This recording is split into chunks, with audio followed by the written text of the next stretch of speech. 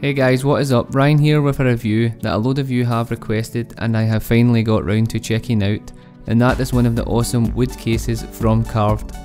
As you can see all of the carved cases are one of a kind and they certainly look fresh so let's jump in and take a closer look.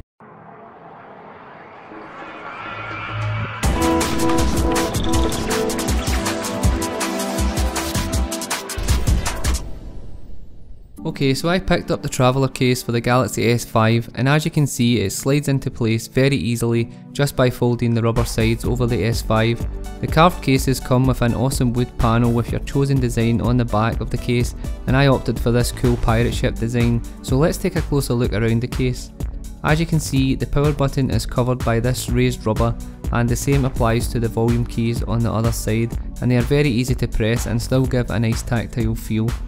On the top of the case you will find the appropriate cutouts for the 3.5mm headphone jack, IR blaster and noise cancelling microphone and the same applies to the bottom of the case for the main microphone and USB 3.0 port.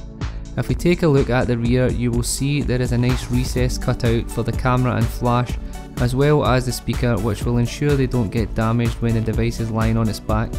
The sides are covered in this thick textured rubber that not only looks good but takes the slippiness away from the Galaxy S5 ensuring that you won't drop it easily and as you can see I can easily move it about my hand in confidence which is always a bonus and something that I look for when purchasing a case.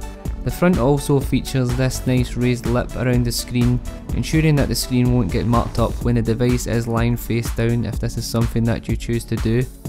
Overall I love the design of the case, not only does it look great but it will protect your device if any mishaps occur and as I said it comes in many designs like you can see here on Carved's website which I've linked below and the pricing is also very fair for the quality of the case that you receive and as you can see there are so many designs to choose from.